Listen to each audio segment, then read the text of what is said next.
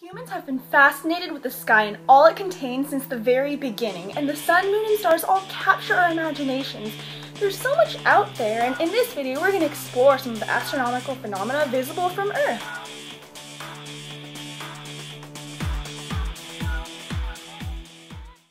Although different systems were created in different cultures around the world, including Western, Polynesian, Egyptian, and Chinese, the International Astronomical Union, or the IAU, currently recognizes 88 constellations in the sky, 48 of which were from the Greek Ptolemy's Almagest. His constellations were based on those of the ancient Mesopotamians. The 12 zodiac constellations, or 13 as Ophiuchus partially counts, are the constellations that lie on the ecliptic or the sun's path in the sky and are used in astrology to determine what zodiac sign you are based on what day of the year you were born in. In addition to the 13 zodiac constellations, there are an additional 29 between the ecliptic and the north celestial pole and 47 between the ecliptic and the south celestial pole. When celestial bodies are perfectly aligned, amazing things happen. Conjunctions occur when two or more bodies lie in the same vertical plane with the Earth. Conjunctions can be either superior and inferior. Superior conjunctions happening when the Sun is sandwiched between the Earth and a planet, while inferior conjunctions happen when the Earth and the Sun sandwich a planet. When the Earth is sandwiched between a planet and the Sun, the planet is said to be at opposition and is the biggest and brightest it can get. In fact, an opposition of the moon results in a full moon, and an inferior conjunction creates a new moon. And an even cooler thing happens when the three bodies lie in the same vertical and horizontal plane or a line.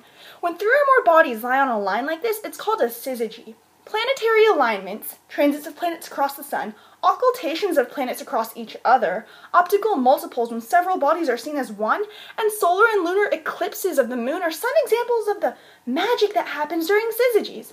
They're even believed to cause moonquakes, but nothing has been completely proven in that area yet. Plus, when all eight planets lie on one side of the sun, even if not on a line, it's called a grand syzygy, which is extremely rare. The next one scheduled for 2161, where all the planets will be within 69 degrees of each other.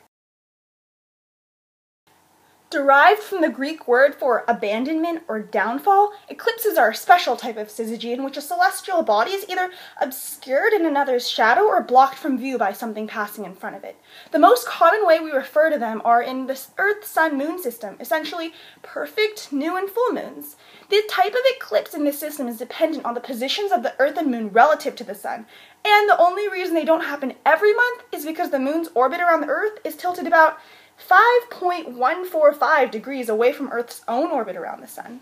And contrary to popular belief, not all eclipses are the same. A total eclipse occurs when either the moon or sun lies in the total or umbral shadow of the other, while a partial eclipse occurs when the moon or earth lies in the partial or penumbral shadow of the other. Finally, an annular eclipse occurs when the earth lies in the antumbral shadow of the moon, meaning the moon is positioned exactly in front of the sun, but is too far away from the earth and appears smaller than the sun, leaving a ring of the sun outside of the moon exposed.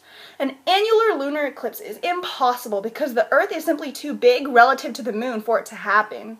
In addition, there are four phases of a solar eclipse.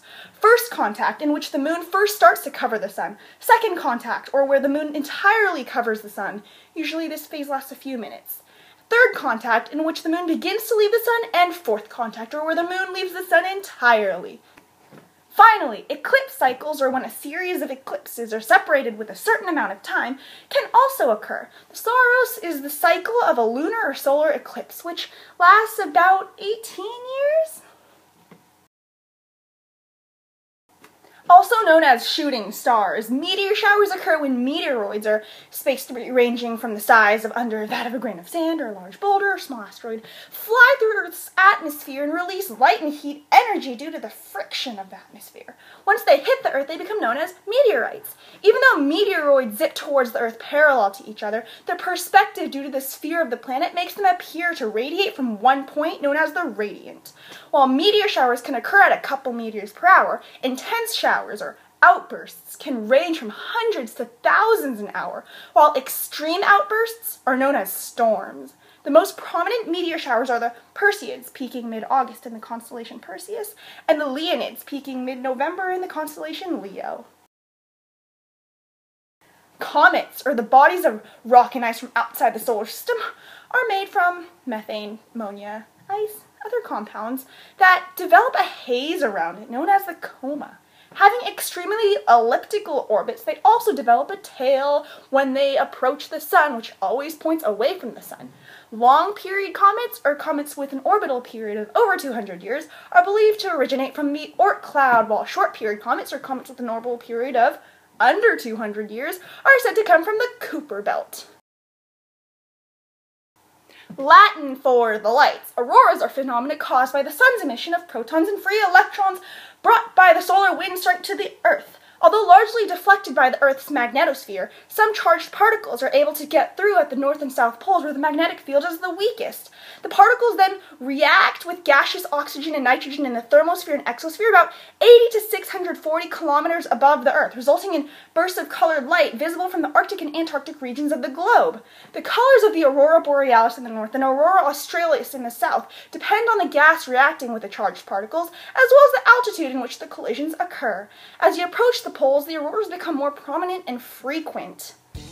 Following is a chart with the colors associated with the different types of gases and altitude ranges in which the protons and electrons react with nitrogen and oxygen.